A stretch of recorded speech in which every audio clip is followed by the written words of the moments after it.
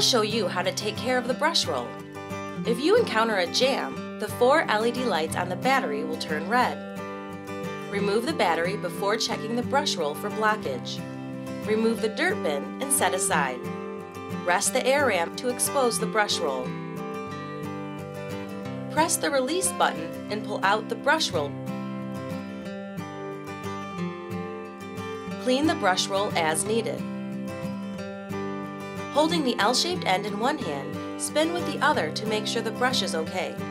It should spin freely. Reinsert the brush roll by placing it on the opposite side of the button. Your brush roll is now cleared and ready to go.